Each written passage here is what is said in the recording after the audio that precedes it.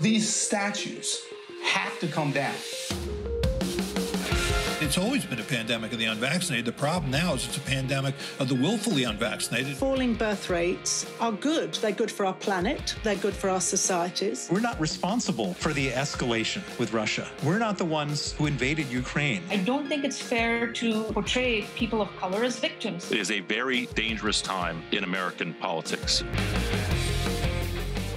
Welcome to the Munk Debates. Our mission is to provide you with a civil and substantive debate on the big issues of the day to arm you, the listener, with enough information to make up your own mind. Today's debate be it resolved. Don't trust mainstream media. And there is one institution here that strikes me has a commitment to the right kind of process, and a whole set of other institutions that most assuredly You're do a writer. not. When you're a journalist and people don't trust you, it's always your fault. The media loves counterintuitive stories more than it loves ideologically convenient stories. We don't want it to chase its own prejudices. We just want it to speak truth, whatever that is. Welcome to this special edition of the Munk Debates podcast. On this episode, we feature the best moments from the autumn 2022 Munk Debate. On the mainstream media, it took place in front of a live crowd of 3,000 people at Toronto's Roy Thomson Hall on the evening of Wednesday, November the 28th. The debate resolution was simple to the point be it resolved. Don't trust mainstream media. Arguing for the motion was associate editor of the Spectator magazine, Fox News contributor, and best-selling author of such books as The Madness of Crowds, none other than Douglas Murray. He was joined on stage by Substack publishing sensation, former Rolling Stone contributing editor, and investigative journalist Matt Taibbi. Their opponents in the debate, arguing against the motion, be it resolved, don't trust mainstream media, were the internationally acclaimed author, podcasting sensation, and veteran New Yorker staff writer Malcolm Gladwell. Mr. Gladwell was joined by Michelle Goldberg to argue also against the motion. She is a well known New York Times columnist, an NBC contributor, former Prospect magazine senior correspondent, and senior writer for The Nation. As with all of our live Munk debates, we began the evening with an audience vote on the resolution. We found out that 48% of people were in favor of the resolution, don't trust mainstream media. 52% were opposed. We did another poll at the end of the debate to find out if people had changed their minds. Did the next 90 minutes affect their views of the mainstream media and its role in society? Well, we saw the biggest ever swing in opinion in the hall in any Munk debate of the last 28. So we encourage you to listen to the following full length recording of this debate, see how you might have voted at the beginning, and see how you might vote at the end. Do you join the audience in this remarkable swing vote that we witnessed for the Munk debate on mainstream media? Keep listening and find out. But let's join the debate now with Matt Taibbi giving his opening remarks in favor of the motion, be it resolved, don't trust mainstream media.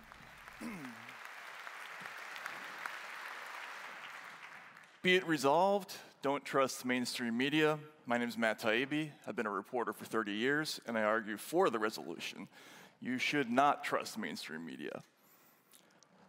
I grew up in the press. My father was a reporter. My stepmother was a reporter. My godparents were reporters. Uh, basically, every adult I knew growing up was a reporter. So I actually love the news business, but I mourn for it. Uh, it's destroyed itself by getting away from its basic function, which is just to tell us what's happening.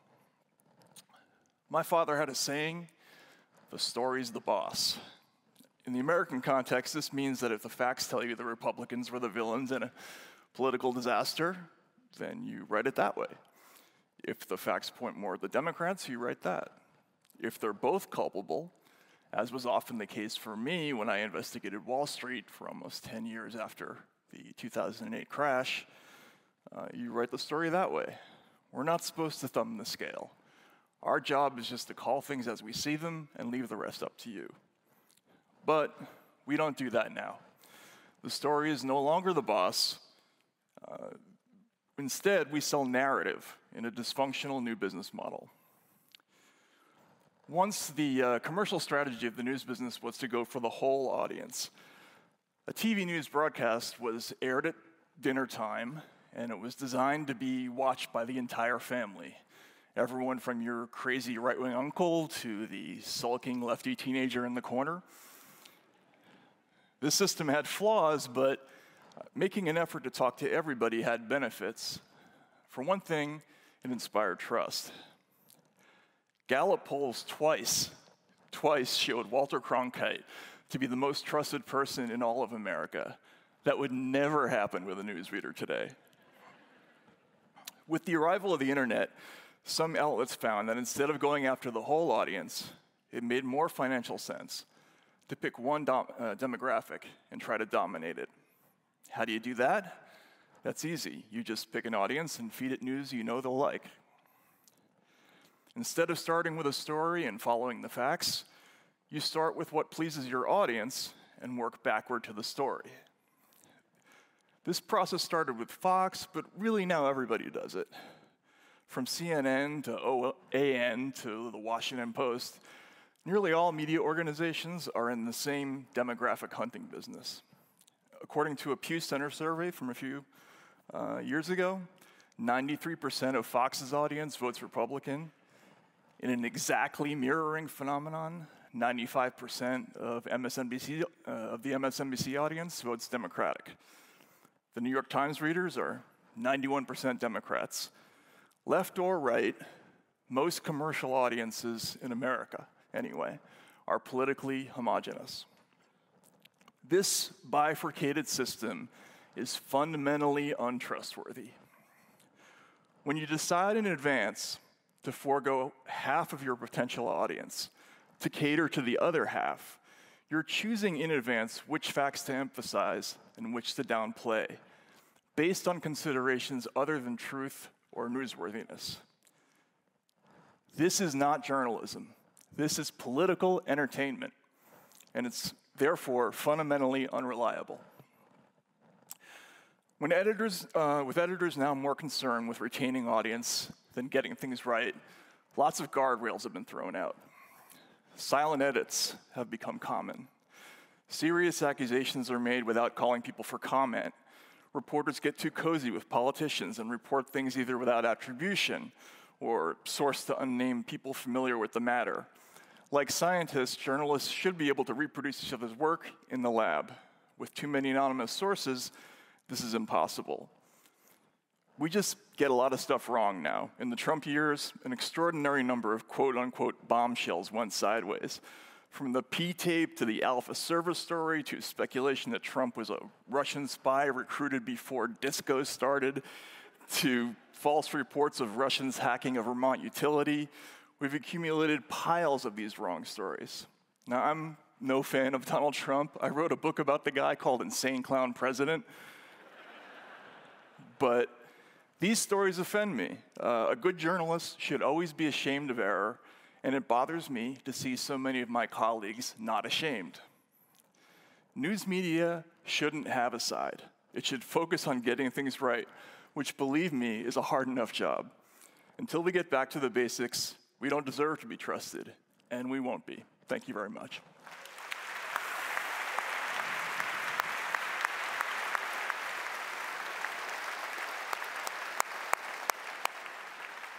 Well done, Matt. Uh, 39 seconds on the clock, so you were saved from uh, the dreaded applause. But uh, we appreciate that opening statement. Now we're going to hear from the con side. Michelle, you're up. Hi there. Thank you for thank you for being here. Um, so. I'm going to try not to make this argument too America centric, um, which I know can happen with American journalists. But I do want to start by talking about an election that we just had in America. Um, and some of the things that the media got wrong in the run up to that election. Um, there was a, an article on CNN why the midterms are going to be great for Donald Trump.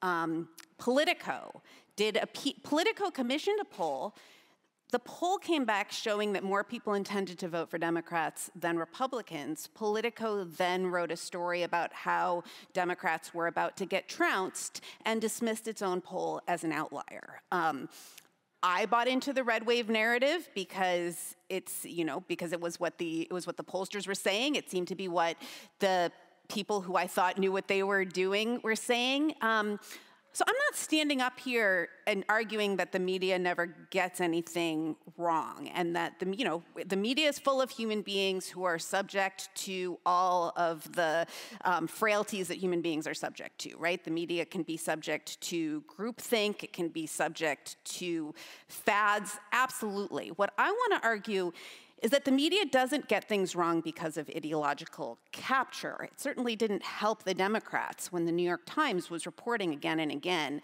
that, um, that Republicans were going to sweep. And in, in fact, it, it, uh, affected people's donation decisions, it affected their volunteering decisions. Um, a lot of people would have allocated a lot of resources differently if they had any idea that some of these races would be as close as they were the media tends to overcorrect.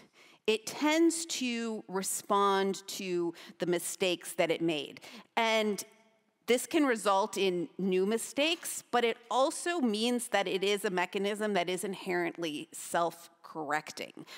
I think that when you say, you know, can we trust the mainstream media? Obviously, you should seek out lots of sources, right? People should read Matt's blog, they should read conservative media, they should read liberal media. But think about the big stories of the last five years or so. You know, from the Trump presidency to COVID to the war in Ukraine. Now, if you had just followed the CBC, the New York Times, the Washington Post, the BBC, they all got some things wrong. You know, I think a lot of the media um, didn't pay enough attention, for example, to the problems of quote unquote, I say this as someone with young children, remote learning.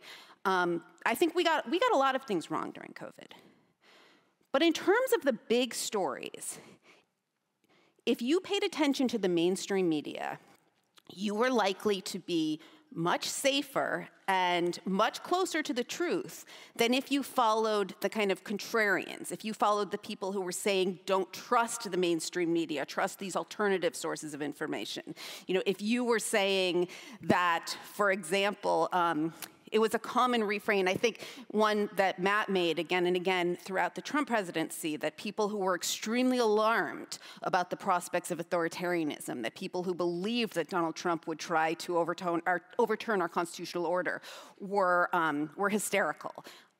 I think that the that the point of view of the hysterics is actually held up kind of well in light of January 6th. COVID, um, you know, we got things, people, the journalists were following experts who were facing a once in a century pandemic and official guidance kept changing. So you heard different things about masks, you heard different things about whether or not the vaccines really prevented transmission, you heard different things about whether the J&J vaccine was as good as the mRNA vaccines. However, if you followed the mainstream media, you knew that COVID pretty early, you knew that COVID was airborne.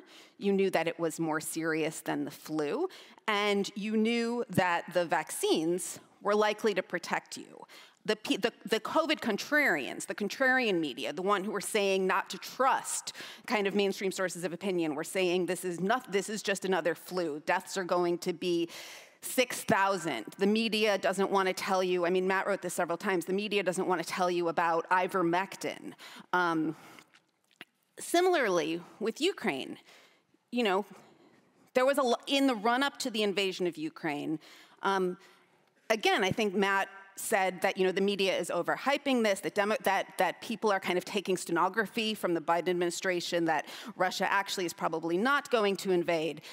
And then when it did invade, what you've heard from a lot of kind of people who reflexively distrust the media is that the media is being too triumphalist. You know, they won't admit that Russia's doing much better than they say. They, they pretending that, um, you know, that, that, that the Ukrainians have more of a chance than they did. And again, I would just say that I think that the mainstream media has gotten the big things right. And so while mainstream journalism, there's a lot you can say against it. Um, you know, I would, just to paraphrase uh, Churchill, you know, it is the worst system in the world except for all the others. Thank you. Thank you, Michelle, for that terrific opening statement. We're now going to turn it over to Douglas for the next pro opening statement. Douglas, the stage is yours. Well, thank you very much, Rudyard. Um, thank you. It's, it's a great pleasure to be here. As Rudyard said, I've come a rather long way from the front lines of the Ukraine conflict because I like to see these things with my own eyes for myself and to come to my own conclusions. I came out through Moldova the other day, through London, then got to Toronto, and a friend of mine said, Why are you going to Toronto? I said, An invitation to Toronto in late November? Who on earth says no to that? Only a madman would say no to that. Uh, you'll see shortly why I'm so keen to speak about this issue here in Canada. Let me put it this way, though, to begin with. Um, I would say in recent years, any sentient observer of the media will have had their moment of realization, a moment where they saw through something that the mainstream media was doing. It may have happened because the mainstream media, media said something about you or someone you know. It may be, as in my case, for instance, that an entire country got maligned by the mainstream media. It's very interesting, this result. It was a 48 52. That's exactly the result that the British people had in the Brexit vote. Um, You know what? Um, when we voted to leave the European Union, uh, we did so against all of the implications of the New York Times, Michelle's employer. We just didn't listen to them. And, and the New York Times never forgave us. Ever since 2016, there has not been one story in the New York Times that's positive about Britain. We have had, and I'll run through some of them, we had a culinary review that said that the British people still survive on mutton and oatmeal we had an anti Brexit piece from the north of England, from Lancashire, a piece of reporting, where the author ended up having to admit that every single one of his facts was wrong, but his perception was correct we had uh, the, recently the New York Times drafted in somebody from Russia Today, Vladimir Putin's propaganda channel, as an employee of the New York Times to attack Brexit Britain. And when Her Majesty the Queen died, not 10 days of mourning was observed at the New York Times, three hours before they started attacking the Queen. And they did so day after day after day because they hate Brexit Britain. That is just an agenda, ladies and gentlemen. That's not anything else.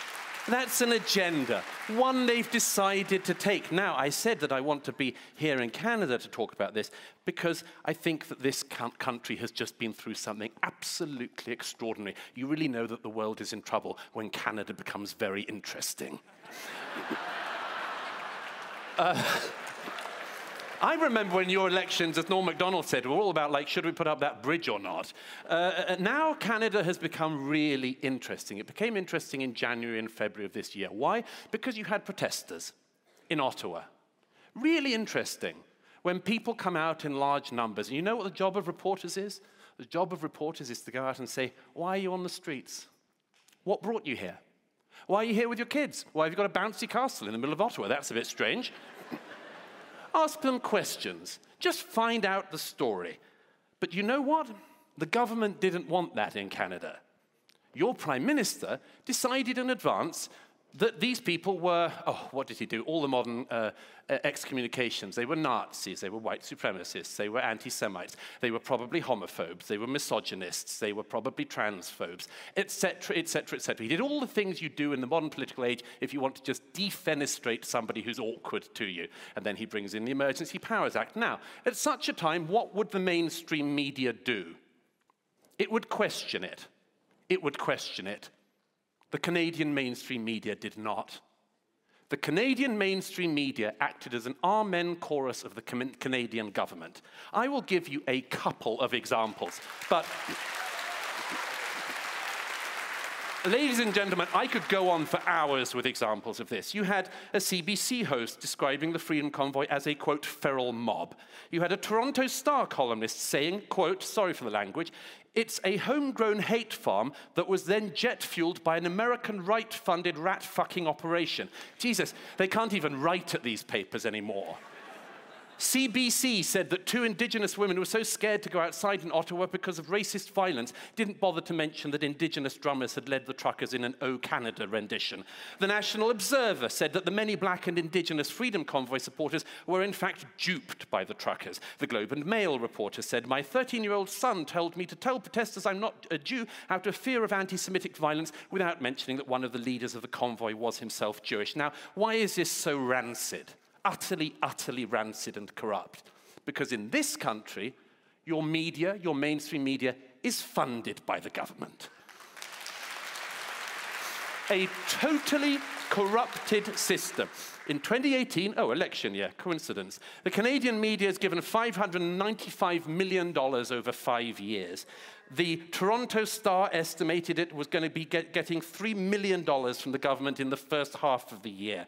It went on and on. So you see, the mainstream, the government in Canada can tell people to, to they can tell the banks to shut down people's bank accounts. Oh, yeah.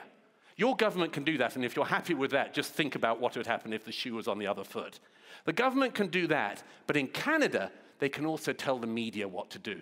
And the media does the bidding of the, can- of the Canadian government. That isn't a free society's media. That's, I've seen unfree countries all my life. But this, in a developed liberal democracy like Canada, is a disgrace. We're not saying don't read the mainstream media, we're just saying don't trust them.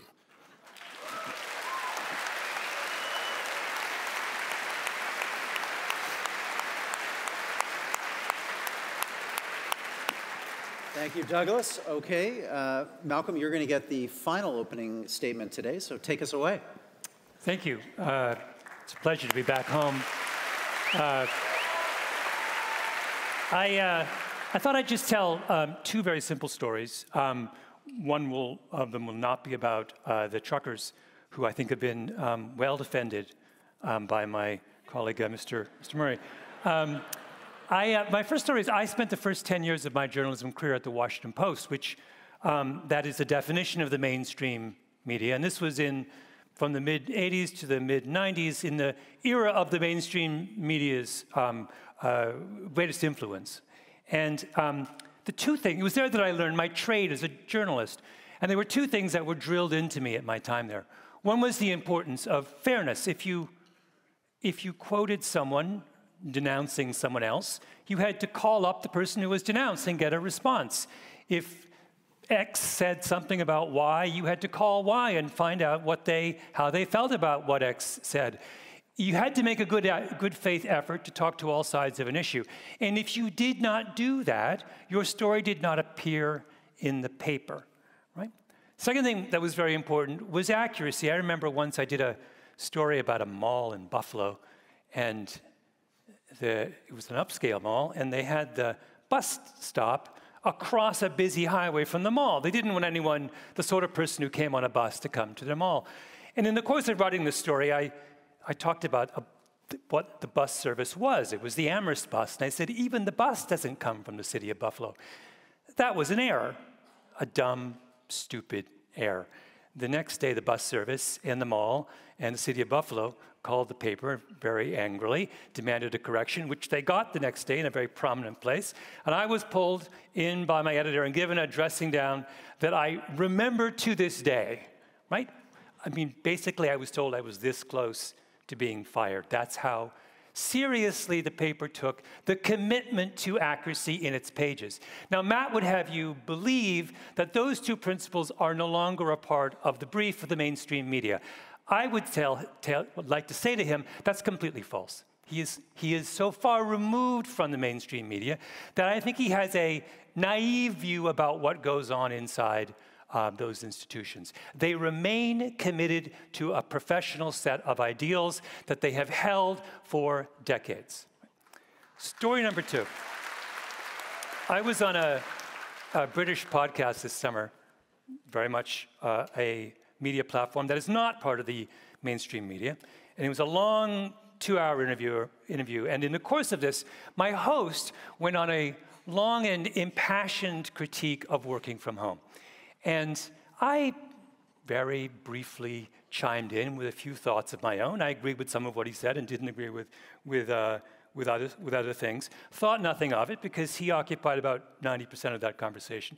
Then, in the following week, when the podcast came out, they released a clip which was just of my contribution, making it sound like it was my impassioned rank, rant. And then someone on social media picked it up and said that in the course of this impassioned rant, I had burst into tears, which was not true.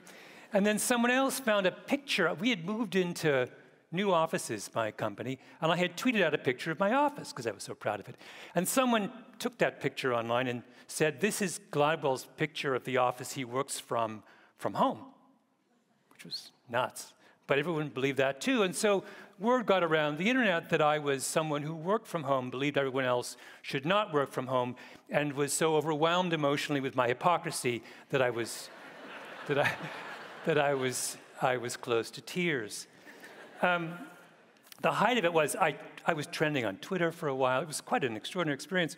Uh, the, the, height of it was when some um, blogger in Philadelphia wrote a story saying this is exactly the sign of kind of hypocrisy you should expect from a single childless man who never leaves his apartment. And so I called him up and said, I'm not single, I'm not childless, and I don't have an apartment, and I go to the office every day and have done so for years. And he said, I'll correct it.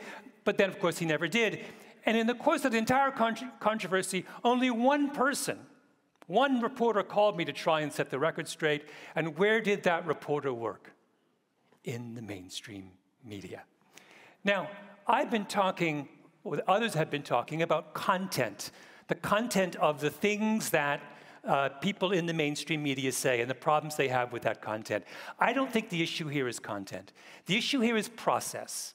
Right? The issue here is the mainstream media has a set of professional norms in place that work the, the best way they can towards the production of fairness and accuracy. The non mainstream media is a set of institutions that are outside of that tradition, that have an open and not a closed platform, and you cannot have an open platform and simultaneously adhere to a strict set of professional norms. You cannot say anyone beca- can become a doctor and then complain when the surgeon takes out your spleen and thinking that it's your gallbladder, right?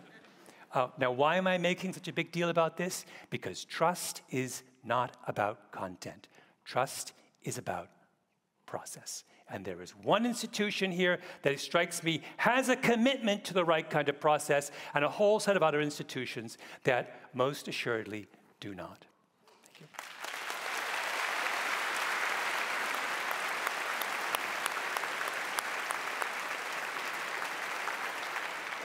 Thank you, guys. Some terrific uh, opening statements. That's what the Munk Debates is all about. You've heard these different arguments. Now we're going to get into rebuttals. So it's an opportunity for each of our debaters to confront their opponent's ideas. Matt Taibbi, you get the first opportunity to rebut what you've heard from Michelle and Malcolm. Well, first of all, I think I should respond to Michelle, who simply misquoted me, uh, proving my point.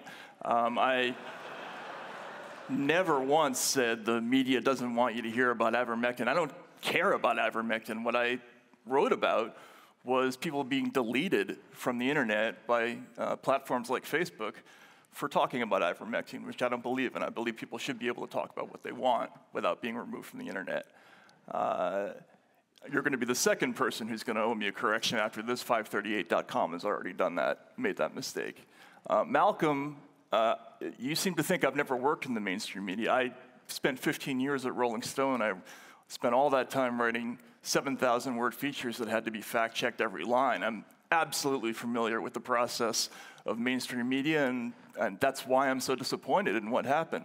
The New York Times uh, and the entire, basically, mainstream media spent years following a fake story about Donald Trump being in league with Vladimir Putin to fix the 2016 election.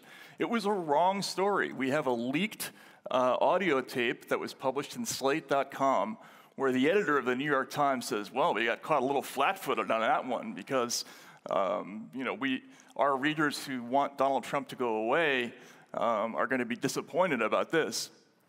They, he says, we built our entire newsroom around one story, and they got it wrong. Uh, there's no way to defend that kind of inaccuracy, and it only happens if everybody wants so badly for it to be true that they overlook all the guardrails that are in place. No serious journalist that I know looked at that story and didn't have qualms about it. Uh, so, yes, there, there are processes in place, and there was once an ethos in place, but that ethos is gone now. Uh, and maybe the processes remain, but there are too many errors proving otherwise. I apologize for misquoting you. Although I think I've read a lot of your writing on ivermectin, and I believe I know that you've written quite a bit about deplatforming internet censorship. You've also said that we should be reporting on ivermectin. Did you not? Is that incorrect? That, that was not the sense of those stories. I, the, the, the idea was that Facebook was taking people off the internet for writing about ivermectin, and I was saying okay. Well, this I is. I mean, this is a, this is a, a, this is something checkable, so we can. Um, but I wanted to speak more broadly. Well, first of all, I mean, it's unfortunate that this is not a debate about was Donald Trump's relationships with Russia improper, so that I could be arguing the the pro. Um, side, but I'm not going to go deep into the weeds of that. I do want to go into the weeds of the Ottawa trucker protests because I might have been the only one of us. Did you cover them? So I think I might have been the only one of us who was at the Ottawa trucker right. protest. Glad to hear it. Um, and and you know, I'm I'm the li- kind of one of the liberal columnists at the Times. I've covered the far right. I showed up at the Ottawa trucker protests, kind of expecting the sort of things that I've seen at Donald Trump rallies, at various even further right events. Um, and didn't find it. You know, I was really quite astonished. I think the I think that it's been pretty conclusively shown that the organizers of this protest were people on the far right, were people with very kind of unsavory and sometimes racist ideas. But what really shocked me walking around and talking to people was how many people were just either totally politically disconnected. I remember getting into a truck with someone saying, "What inspired you to come here?"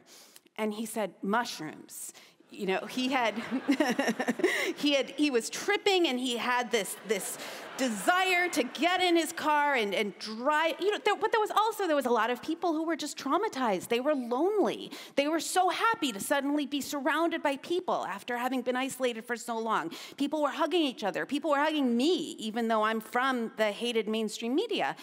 And I told my editors that this is what I found, and they said, Great that's more interesting than what we thought you were going to find. And It was more interesting. And I wrote it, and they devoted an entire page to it. I'm not going to defend all of the mainstream media coverage of the Ottawa trucker protests. I didn't follow every single bit of reporting on it in the Canadian media. But I do think that having the ethos of wanting to be surprised and being willing to be surprised is something that you are more likely to find in, you know, the New York Times, in the Washington Post, in people who write, you know, in the New Yorker, than it is with people who do write for some of these contrarian alternatives to the mainstream media, and they really do start with a story that they want to, a, story that they intend to tell, often a story about the. Um, about the mistakes and, and dishonesties of the, of the mainstream media. But the truth is much more complicated than that. Thank you, Michelle. Okay, Douglas, same opportunity for you. Three minutes on the clock. Let's have your rebuttal. Thanks very much. I'm delighted you went to the protest. I'm sorry I was on another story at the time. Um, and I'm delighted that you reported honestly, since you didn't report Matt's comments honestly tonight. and the last time you were on this stage with Jordan Peterson, you didn't report his comments accurately either. Um, let me address the, the, the, the, main point that, that has come out from the other side, which is that the mainstream media has frailties. Sure, it has frailties. And nobody is saying that non mainstream media don't have frailties. Of course they do. The simple proposal in front of the audience tonight is whether or not you can trust the mainstream media. That is, that you don't need anything else. You don't need any other information from elsewhere. You can just you can just turn on CBC in the evening and you know you've got your stuff. You can pick up the New York Times, the Washington Post in the morning and you know that there's no spin on the story. It's absolutely accurate reporting. I was interested by Malcolm's story about himself because I wonder, Malcolm, if you hadn't have been yourself, whether you would have got that call from a journalist. I wonder if you weren't yourself, if you weren't a New York Times best-selling author if you didn't speak to audiences like this. I wonder if you were just an ordinary member of the public who'd been grossly defamed in the mainstream media, whether they'd have bothered with you. I'd submit no. Because time and again, that's been shown to be the case. Now, look, as I say, you don't have to believe this evening that, that you should never read the mainstream media at all. What we're simply saying, among other things, is firstly, the mainstream media isn't the mainstream media that it used to be when we were all, sorry, some of you are a lot younger, but when most of us were growing up, okay, it's just not the same thing. It's running for money, it's running for, for cash, it's running for ratings and much more. It's just a different mainstream media, and you do need outside sources in that. You do need upstart blogs. You don't only need them, you don't need only read them, but you do need them. The second thing is, again, I come back to it. If the mainstream media today wants to put a spin on a story, they can do it all the way. Look at what happened the other day with the Colorado gay bar shooting in America. Again, we're in Canada, I don't want to talk just about America. Look at this, a appalling event. Somebody goes up and shoots up a gay bar whole load of the media start talking about the right wing, about the, the, the right wing shock jocks who've caused this. They go on and on about it day after day until, oh, it turns out the man taken into custody is non binary. Story disappears. That would have been a really interesting story to keep on at. But it just goes away because the narrative isn't the one that the mainstream media wanted. It's too complex. So I applaud you, Michelle, when you go and find complex stories and you explain the complexity. But that's not the habit of the mainstream media anymore.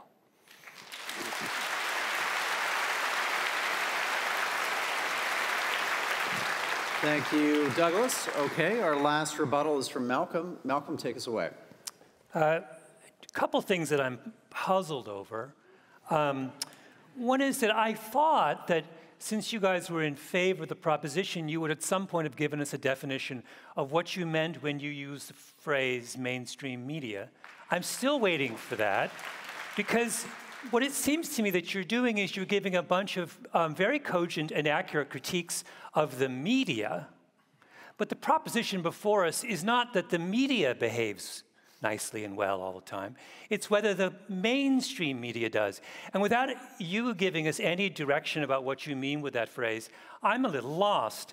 And for example, Douglas, I noticed in your comments to me right now, you said that I would I have been called if I were not who I am. It was a very puzzling locution, but um, if I were someone else, would I have been called, if I had been, quote, and you, I'm quoting from you, if I had been, if someone else had been, quote, grossly defamed in the mainstream media. But I wasn't grossly defamed in the mainstream media. I was grossly defamed in the non mainstream media, um, which is my point, right? Um, second thing was, um, I was greatly amused by the affection Matt Taibbi has for the age of Walter, Cron- Ron- age of Walter Cronkite, um, which he seemed to hold up as a kind of golden moment. In that moment, the mainstream media was populated entirely by white men from elite schools. Um, why you would have had such affection and say that's the gold standard, and we should trust the mainstream media precisely at the moment when the mainstream media is least representative, is really puzzling to me. I would point out that at the height of Walter Cronkite's reign in American media, neither people like Michelle and I wouldn't have been on the stage, right? We weren't part of the conversation. So I don't know why uh, we should hold such a kind of affection for that moment. Um, I was also struck by the contradictions between the, the comments that both of you made. Um, when Douglas said that he was very upset at the way the Canadian media acted as an amen chorus of the Canadian government with respect to the truckers, I would just point out that the reason Walter Cronkite was so beloved by people like Matt father and grandfather is that he was an amen chorus for the United States government. So the two of you should really get together in the next five minutes and work out your story. One last, one last comment, um, and that is I was most amused by this by the particular subjects that seem to have excited the imagination and outrage of the two of you. I'll just list them before I go in my last 19 seconds. Donald Trump's relationship with Russia, the Canadian truckers, ivermectin, Jordan Peterson, and then something about this thing in. Eh, these, these aren't things driven by the mainstream media. These are obsessions of the non mainstream media. Once again, work it out, guys.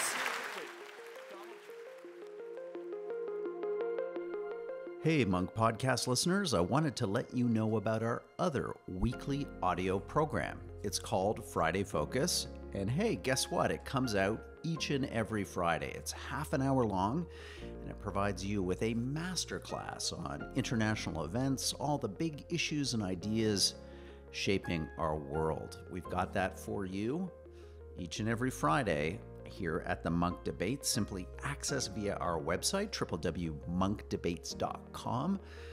Click on Friday Focus in the top right navigation. You'll get all the details, or check out a sample of the program in the same podcast feed as the main Munk Debates podcast. I hope you'll join us for the next edition of the Friday Focus podcast. Now back to our program. First of all, if, Uh, are you really saying that Trump's relationship with Russia was an, not an obsession of mainstream media? It, it was basically the entire content of cable news for three years. There was almost, uh, uh, again, the editor of the New York Times, Dean Baquet, said, We built our newsroom around one story, that story. Uh, the New York Times doesn't get much more mainstream than that, I don't think. Defining the mainstream media is simple. Uh, I talked before about a bifurcated system where we have essentially uh, two homogenous, politically homogenous audiences. We have Fox News and conservative media on one side. The mainstream media, roughly speaking, is the other side, right? That's, that's what we mean when we talk about the mainstream media. And yes, uh, as I said when I, in my speech, the old system under Walter Cronkite had its flaws, but it did have its advantages as well. The, making the effort to talk to everybody uh, garnered more trust in the public. There is a reason why people trusted uh, news people more 20 or 30 or 40 years ago than they do now. Now, when people meet someone from the New York Times or from the Washington Post uh, or from MSNBC out in middle America, they don't talk to them. Uh, you, you, cannot get, those interviews are very difficult to get now because people perceive those institutions to be not on their side. This is very different. I know this as a campaign reporter myself. I've watched over the years how this has changed. Once upon a time, I could interview for Rolling Stone uh, Republicans with no problem. People loved it. They would always talk about how Dr. Hook was in the cover of Rolling Stone. And, uh, but over the years, progressively, people became more reserved and they became more distrustful, and they should have been because the media made more and more mistakes over those years. Think about the WMD episode. Uh, we talked about the, the haloed processes of the mainstream media. Uh, everybody got this wrong, and not only did they get that wrong, after they got it wrong, they promoted all the people who were the most wrong and fired all the people who were the most right. Uh, some of the people were never forgiven for getting that story right, and, and some of them are editing major magazines today for getting it wrong. Uh, so people have a reason to distrust the media. Of course they do. Um, so uh, that's all I have to say. Thanks, Matt. Okay. Let's continue with our rebuttals, but uh, just for the sake of time and moving us to this debate, I'm going to go two minutes each for uh, the remaining three rebuttals in this second round. So we'll set the clock to two minutes. And Michelle, you're up. So I guess the, the point that I keep coming back to is that this critique of the mainstream media, and particularly this critique of the mainstream media as kind of ideologically blinkered, is itself, I think, rooted in a very simplistic and distorted um, view of what's happening both in politics and in the relationship between the media and politics. I mean, Specifically, the idea that there was nothing to the Trump Russia story. And I don't want to go too deep in the weeds, but this is bananas. I mean, certainly the Mueller, you know, people put too much um, hope, people who despise Trump put too much hope in that Mueller would bring him to justice. But what we've learned, I remember when this report first came down that there had, that there was kind of concern in the intelligence agencies about Trump's relationship with Russia. If we had at that moment known that Donald Trump's um, that Donald Trump's campaign asked Russia for help in um, winning the election, asked Russia for help in the election. If we had known that Donald Trump was seeking to do a huge business deal in Moscow and seeking Putin's assistance, if we had known at that moment that his campaign manager, who before then had managed the campaign of pro Russian candidates in Ukraine, if we had known that his campaign manager was passing intelligence to somebody who was believed to be a KGB agent, and if we had known that Russia then did hack and hack and leak the um, emails of the Democratic um, candidate for president, we would have thought, well, this is an astonishing blockbuster. And so it's really much more complicated than that. Finally, about Club Q. Nobody believes that he is non binary. If they did, they would think that this was a fascinating story and would love to report it. The media loves counterintuitive stories more than it loves ideologically, um, ideologically convenient stories. It's simply that everyone knew that he was trolling us when he said that. Thank you.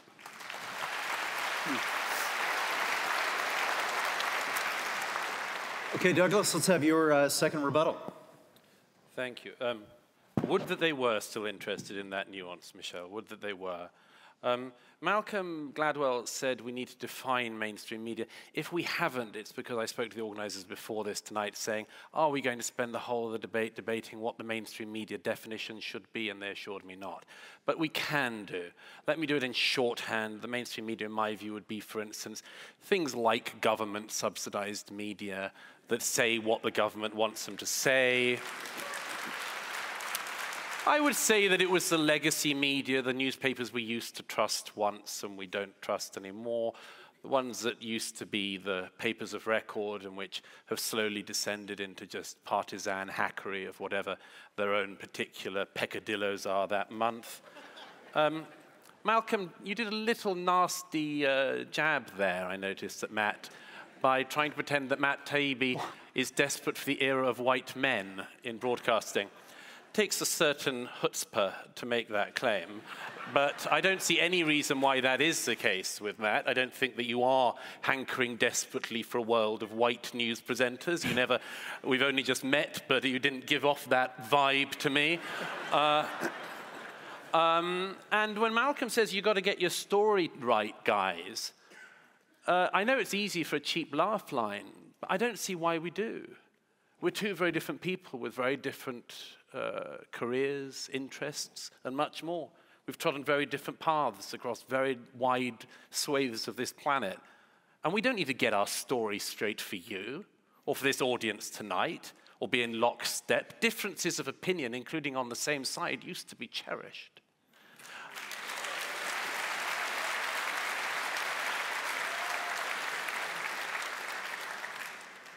I could do like more, but I'll leave. Wow. Thank you. Okay, let's get our last uh, rebuttal here from Malcolm. Two minutes. Uh, take us away. I was uh, astonished to listen as Matt Taibbi doubled down on his defense of Walter Cronkite. I feel like there should be a giant picture of Walter Cronkite behind. Um, and he said, and the most incredible quote was Walter Cronkite, the era of, of that, uh, that, that era in journalism was distinguished by people, journalists, quote, making the effort to talk to everybody. Now, he's talking about the 1950s and 60s. Um, I just wanted to do, make a short list of the people who were not spoken to by journalists in the 1950s and 60s.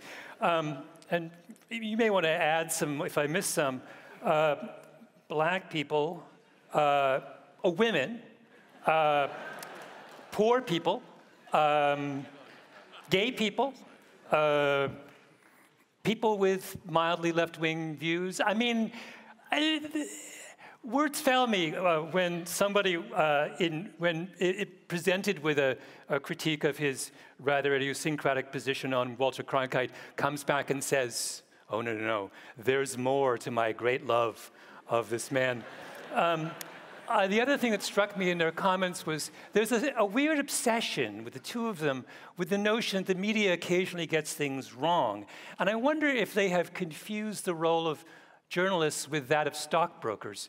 Um, stockbrokers have to get their predictions right, but journalists don't. The job of a journalist is to use that famous phrase to afflict the comfortable, to, afflict the comfortable and comfort the afflicted. And sometimes that means you go down some uh, dead ends and you chase stories that don't turn out as you want them or wish them or hope that they would turn out. But that is the nature of the business. And if that business seems uncomfortable to you, then I would suggest you should go into stockbroking.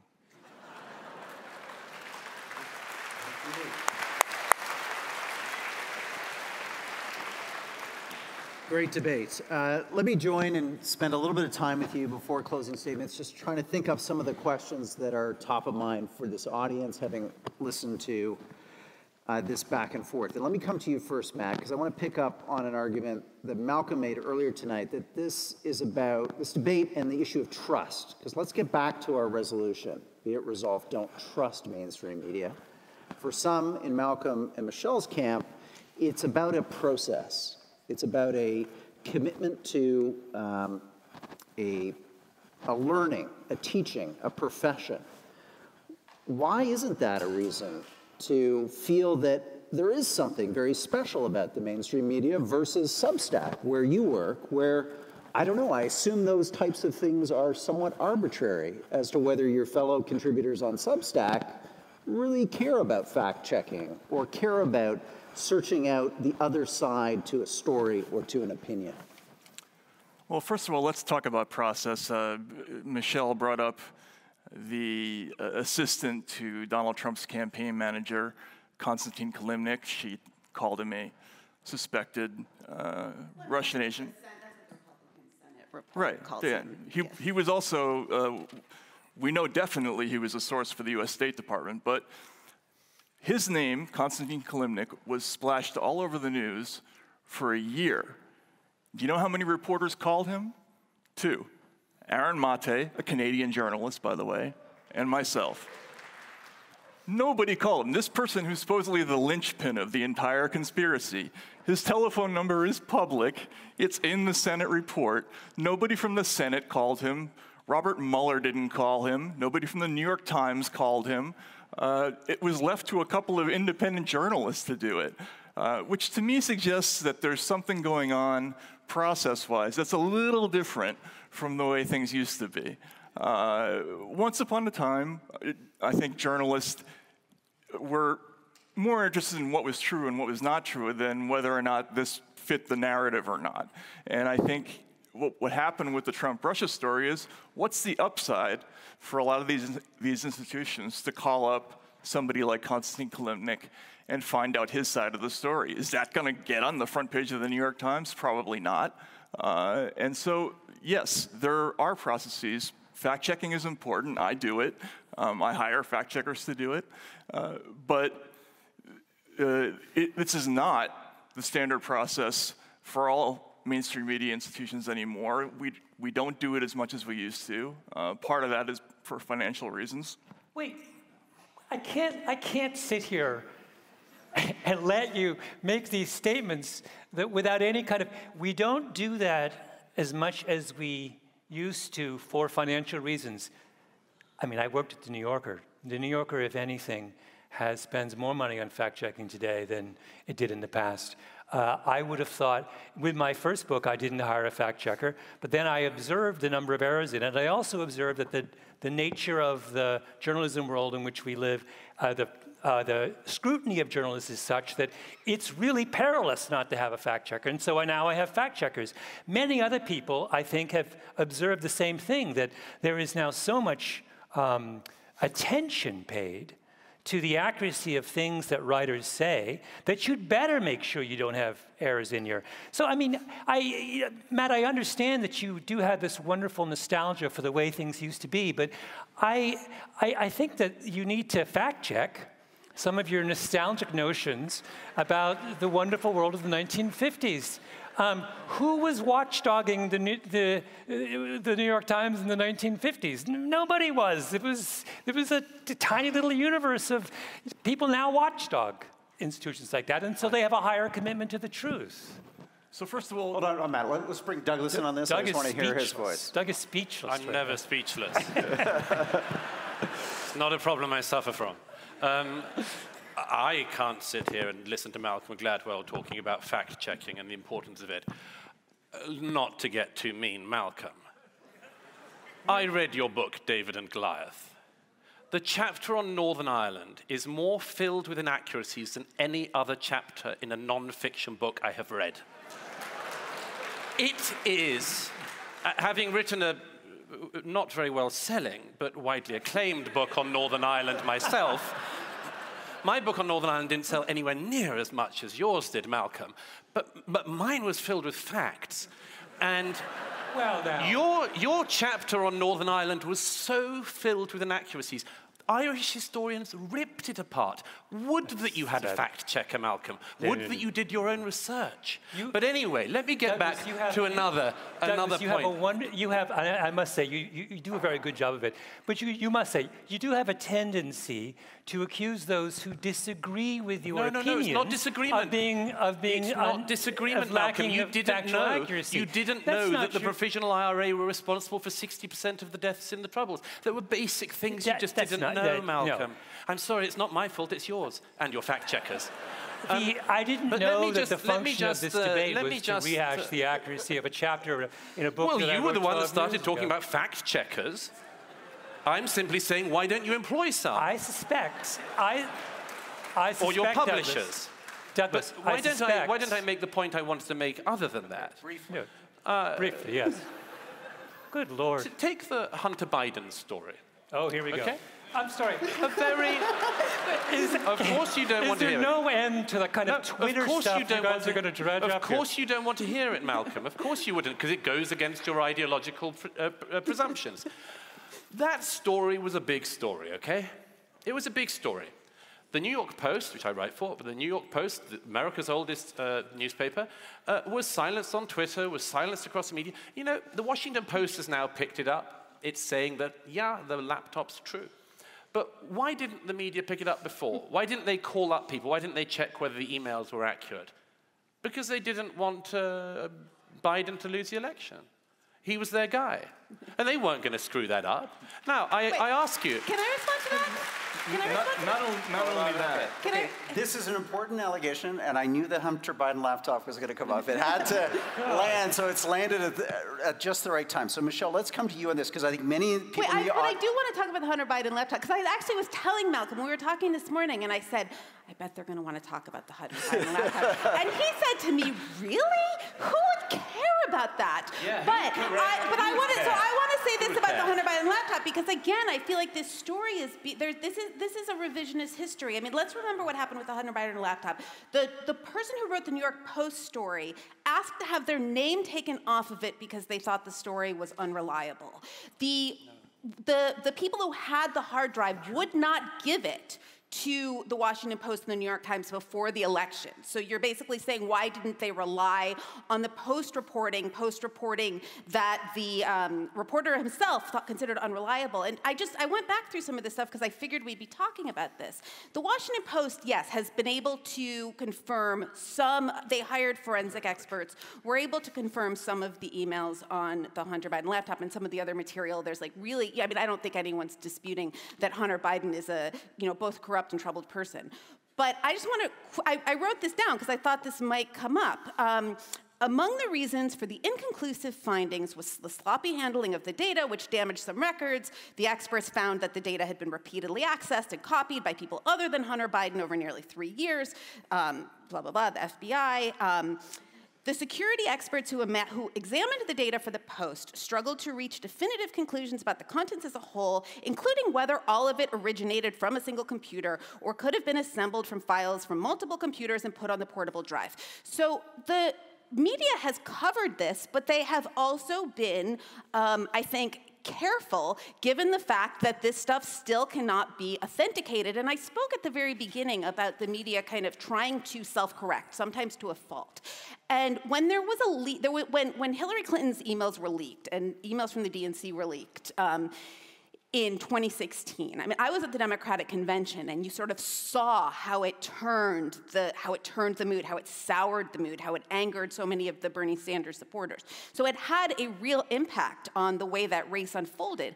And I think that in retrospect, a lot of media came to see that how that material was obtained and how it was kind of strategically disseminated was as important of a story as the contents of those emails and that they had been a, they had made a mistake mm-hmm. by only focusing on the latter. And so they didn't want to make the same mistake again with the Hunter Biden laptop and you were arguing it seems to me that they should have. Yeah, so guys, let's let's have you respond to that because this could be an example where the media, seeing a campaign of successful disinformation run by a foreign government, against a candidate running for president of the United States could, in a sense, be replicated again in the Biden laptop. Maybe that was not the case in the end, but wasn't that a responsible thing that only the mainstream media would have done, taking a more cautious approach to uncertainty when reporting the news? First of all, the, the 2016 you know, campaign was not disinformation. It wasn't fake. Those emails were real. They were all authentic. The manner of how they were obtained was shady, but they were true. Uh, so you can't call it disinformation. Neither was this. This was not disinformation. And, and news organizations are not required to report on anything. No one has to do the story on the Hunter Biden laptop if they don't want to. They're, they're not obligated to. However, they went beyond not covering it. They went. They wrote stories that this was Russian disinformation. They repeated the, the statements made by 50 former intelligence officials who described this as having all the earmarks of a Russian information campaign. By the way, they didn't use the word disinformation. Uh, but that wasn't even the most important part of the story. The important part of that story wasn't even about Hunter Biden. It was about the, the decision by Facebook and Twitter, uh, at the behest, uh, at least in the case of Facebook, of the US government to quash or dial down that story and, and deny access to that story. That is a historic moment uh, in the history of censorship in our country. And, and Okay, come quickly on this and Go to, I've got to add to that. I've got to add to that. It's like, Malcolm, you're kind of, oh my God, what a yawneroo the whole Hunter Biden story is. How boring to talk about the idea of corruption at an epic scale in the first family. How boring. Um, who would want to harp on about that?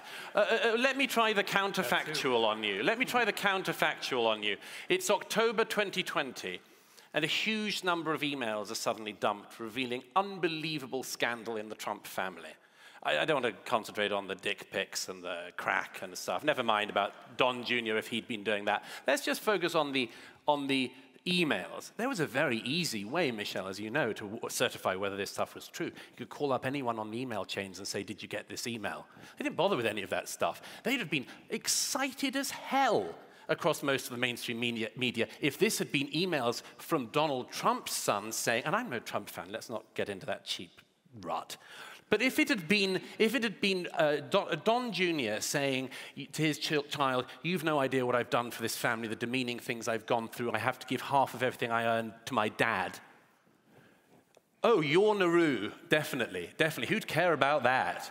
No, the point is simply that this was one of the occasions in recent years where the mainstream media showed its transparency as a political organization. That's why we care. Okay. So this is, uh, this is a key point of the debate that I think Malcolm is on a lot of audience members' minds. Why is it when these mistakes, or in case maybe this wasn't a mistake, a, a sudden cautiousness emerges, why does it always seem to, if we look at the circumstances over the last few years, benefit one political orientation and seem to disadvantage a party or an individual of another political do you, orientation. Do you guys remember like butthurt emails? I mean, does anybody remember the completely outsized attention paid to Hillary Clinton's information um, security protocols in the run up to the 2016 election. I mean, this was on the front page of the New York Times constantly. This was just an absolute drumbeat that the most important thing in the 2016 election was Hillary Clinton having a private email server. I mean, the idea that these distortions always benefit Democrats and work against Republicans is simply not the case. Again, I apologize for making this so, you know, kind of America centric. And I would similarly say, you know, BuzzFeed published the Steele dossier after the 2016 election, but it was floating around before then, and people didn't report on it because they couldn't verify any of it. So again, I just think the media makes mistakes, but we but the idea that the media is um, kind, the idea that these mistakes always run in one direction, it is simply not the case. Do you want to come in on this, Malcolm? Uh, well, you know, I was struck once again in listening to our opponents by um, how much their arguments resemble the kind of classic structure of a conspiracy theory. Uh, a conspiracy theory is a theory in which one assumes a degree of unanimity and collaboration amongst one's foes, right? You, uh, the conspiracist speaks of those who disagree with himself or herself as if they had a single voice. And there are numerous really unpleasant examples of this. This is not one of those. This is a much milder, um, uh, more naive variant on the traditional conspiratorial uh, model. But nonetheless, when, so when Matt and Doug speak about the mainstream media, they're, they're acting as if it is, there's a big room possibly in New York or in Washington, D.C., or maybe in between, so that each party has equal access to the room, um, in which everyone gathers every morning and makes up the agenda for the day, right? And the people fly in from the big news networks, and someone from CBC comes down, and this cabal of high minded, well paid, elite white, as it turns out, journalists, some of them, that, the ones that Matt seems to have such affection for, gather oh together. God and set the agenda for the country. Now, I don't know where this room is. I said I speculated that maybe it's in Maryland because that would be equidistant between these two places. But um, I, this is a fantasy, right? A conspiratorial fantasy. The truth is that the elements, and this is why I made a big point about their failure to define what the mainstream media is, and it's a crippling failure. Because, because they never really grasped and told us what they were talking about, they were free to construct this mythological thing where all these people get together and set the agenda. There is no thing and there is no agenda. There are a variety of disparate voices, and they have chosen to cherry pick and create weird, this complete so myth- mythology. You, it's so strange. It's so strange hearing you debate, Malcolm, because you listen to nothing that your opponents say. it's quite extraordinary. I've met it before, but never quite so badly as it, as it occurs in you. Um, you keep saying things that neither of us have said, and then you try to pathologize what we say.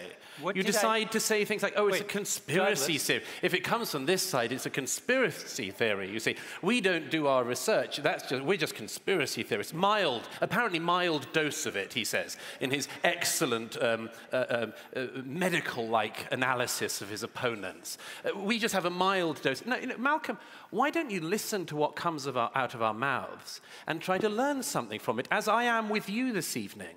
But at the moment, all I get is you dismissing every single story we come up with, every egregious failure of the mainstream media, I've given you a definition of what I think of as the mainstream media, so your attempt to claim that we haven't answered it yet is just another straw man in your massive legion of straw men you keep creating this evening. But I beg you to actually consider the fact that what we are describing is, even if you think not as accurate as you would like, an expression of a problem that is going on in our societies. Functioning Functioning liberal democracies need to have trust in their media. And the best that your side has been able to come up with so far tonight is to say, we get things wrong quite often, but you should trust us.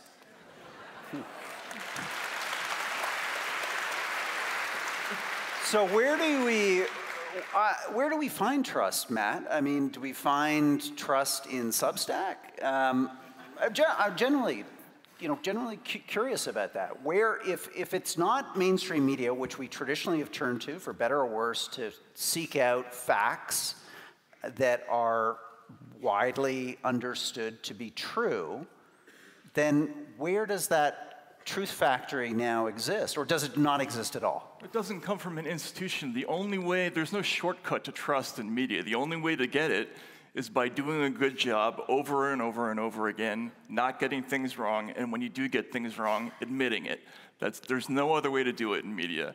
And the,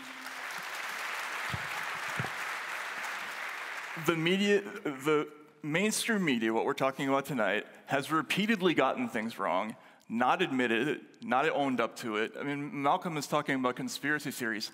Let's talk about a story that was huge in America for years. This idea that Donald Trump's lawyer, Michael Cohen, was making visits to Prague. Now, this, is, this came from the infamous Steele dossier. If you read the dossier, Basically, the idea is Trump sent his lawyer to go meet with hackers uh, and Kremlin representatives in Prague. Uh, and Steele says that the, they would preferably be Romanian hackers who would afterwards retreat to, to Bulgaria, where they could use that country as a bolt hole to lie low.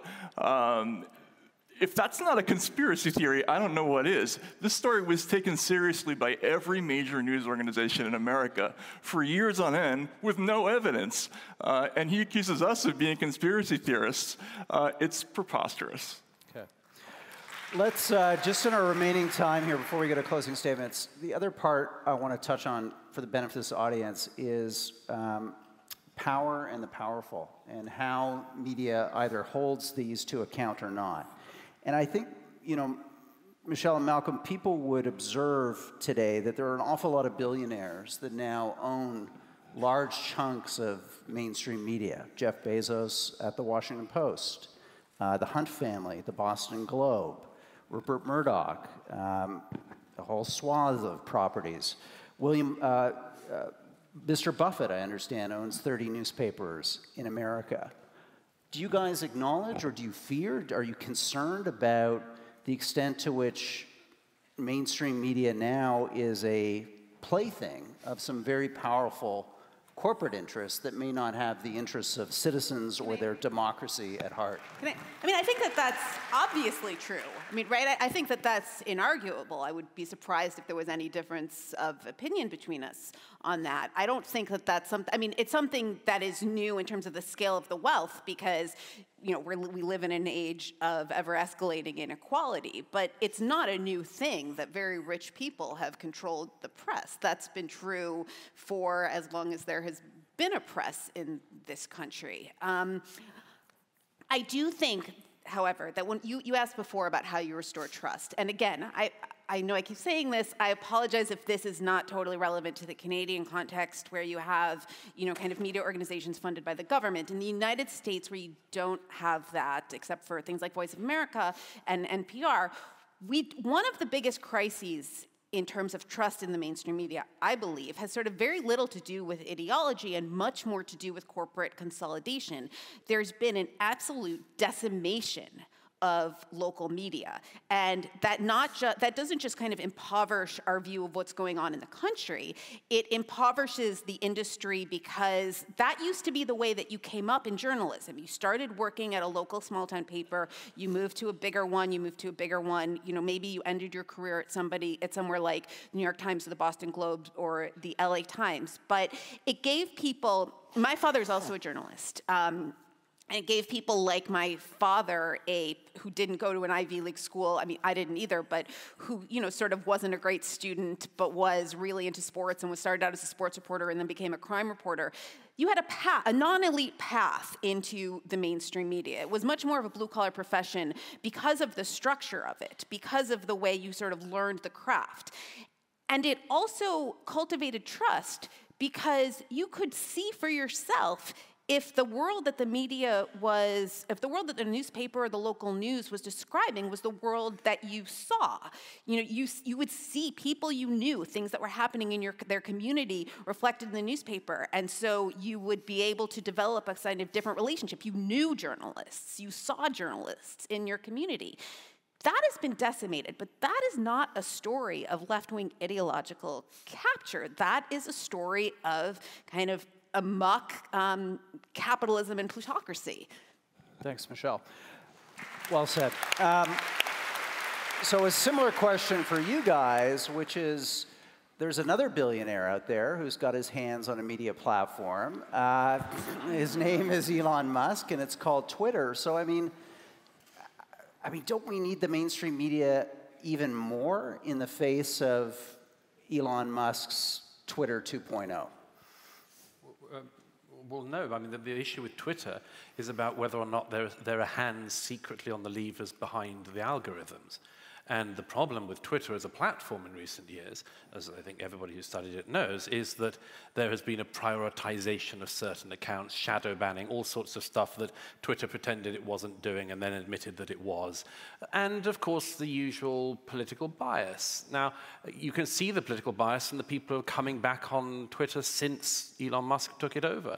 Um, there were no cancelled left wing accounts coming back on because mostly it wasn't left wing accounts that were being cancelled. It was, it was right wing ones, conservative ones, including ones I have no taste for or appetite for. But the fact is that there was a, there was a, there was a shadow game going on at Twitter. And we will discover in the coming weeks, as Elon makes the, the, the, the, uh, the discoveries clearer, we will discover exactly what that looked like, how, it, how, in, how behind the scenes Twitter was able to lean to subdue certain accounts, certain stories, how it was able to promote other ones. But that's, that's a, a, a, if I can say so, a slightly separate question to this one.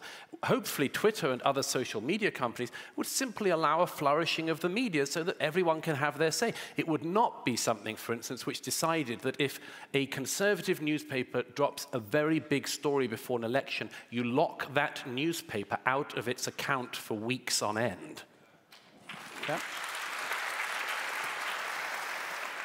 Okay, let's uh, let's go to closing statements. Uh, we're going to take these in the same in the opposite order of uh, the opening. Uh, three minutes on the clock for each of you. I'm going to leave the stage, and Malcolm, pass it over to you uh, to kick us off for the closing statements. Thank you. Thank you. Um, here's what I think the debate boils down to, um, and that is that um, our opponents believe that the mainstream media um, uh, are they're concerned that the mainstream media, to the extent that they have told us what it is, um, is filled with people who don't think like they do, and that fact makes them uncomfortable. Um, and in support of this, they have given us a long list of rather predictable hot button topics taken from their Twitter feed. And I was, my question was, what would make them happy? So, what would restore the trust of Matt and Doug in the Douglas. mainstream media? And I think what they, with Matt, the answer is obvious. He would like if was, the world resembled 1955 again, that would fill him with joy. Doug would like um, more stories on the Hunter Biden That's laptop. Four times you're going to um, play the race But more card? seriously, I mean, really? I think that they would be happier if they felt that the composition of prestigious uh, journalistic institutions more closely reflected the full range of ideological attitudes in the American public. That is actually a serious proposition. I don't mean to make light of it at all. Um, but I, it is one that makes me a little uncomfortable because I don't think that you can ultimately say that trust in institutions is reserved solely for institutions that perfectly match the characteristics of the general population. Um, I, you know, it's like saying that we don't trust uh, uh, kindergarten teachers because kindergarten teachers are overrepresented with people who have an enormous amount of patience for temper tantrums of four-year-olds. I mean, they are an extraordinary uh, and a very specific subgroup of the population that performs very well in that particular task. More generally, though, when we say of journalists that I don't think we should be judging the quality and trustworthiness of journalists by the composition of that group or by their private ideological positions.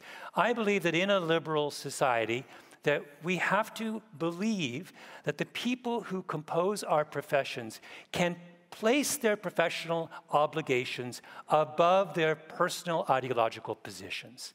And if you don't believe we are capable of that act of transformation, then you can't have trust in any of the institutions that make up liberal society. Thank you for that closing statement, Malcolm. We're now going to go to Douglas. Same opportunity, three minutes on the clock. Well, Malk, Um, I'm going to try to take this more seriously than you did in your endless creation of straw men, which just is ceaseless this evening, um, and address what I think is the real problem we have in our century in terms of information technology. Having different opinions is so 20th century. This century, we have different facts, and it's lethal. It's absolutely lethal the functioning of society.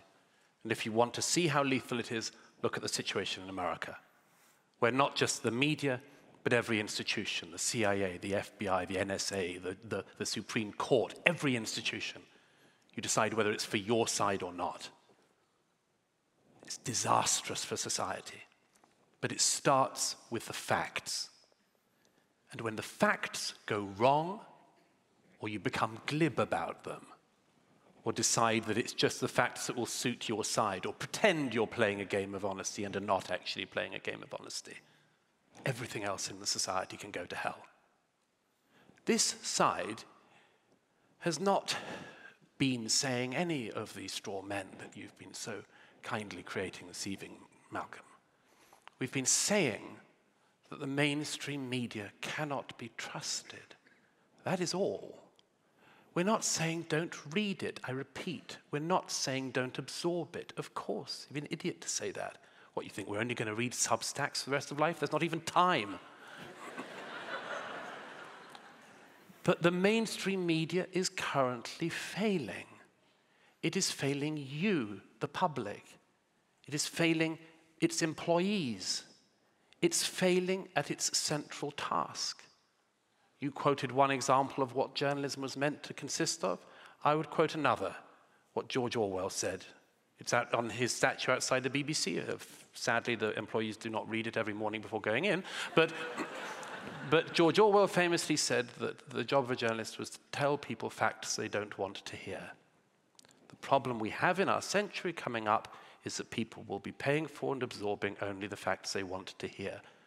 The argument we are making is one of hygiene, basic hygiene in the media, in the mainstream media. I don't want to blow it up. I don't want an end to it or anything like it. I spent a significant amount of my life in the mainstream media. We just want it to be honest. We just want it to be factual. We don't want it to chase its own prejudices. We just want it to speak truth, whatever that is. That's not so radical.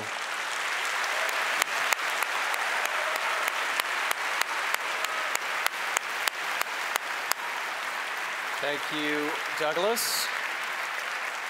Michelle, thank you for an excellent debate. Let's have your closing remarks, please.